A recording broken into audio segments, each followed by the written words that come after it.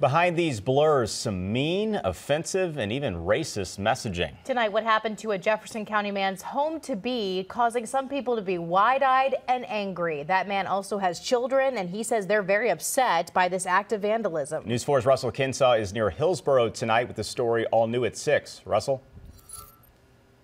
So right now I'm on Stonebridge Estates Drive. It's a pretty rural, secluded area. See that gravel drive over there? The house that was vandalized is down a long gravel driveway.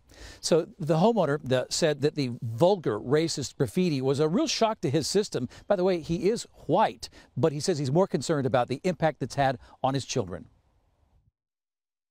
for a few seconds thought that uh, you know I'm just seeing things or you know that just that couldn't happen to me, right? Last week, yeah, Jordan Wilson drove up to the new home he's building near Hillsboro and found it covered in red spray painted graffiti. Some of the graffiti was racist. It really it really infuriates me um, really bugs me. We didn't let our kids out there until we got it cleaned up. They don't uh, they don't know that language. They've never seen it. There was red paint all over the house some vulgar words and images and several windows were broken.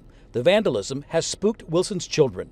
Our children you know they're they're you know they're kind of fearful now they're scared that you know these guys could come back when when we're there. There's another house nearby under construction. Workers said they didn't see anything suspicious last week and haven't had any problems at their job site but are also outraged about what happened. It's a shame. I mean in my opinion i think it's kids but you never know.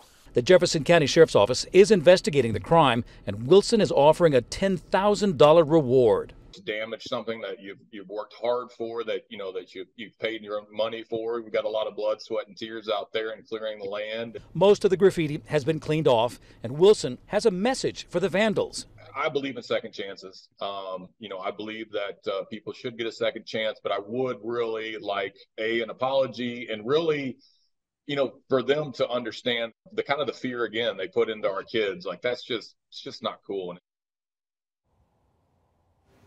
So Jordan Wilson said if there's any silver lining to all of this, it's seeing all of the good people who've come forward, some people he's never met before, offering to help clean off the graffiti.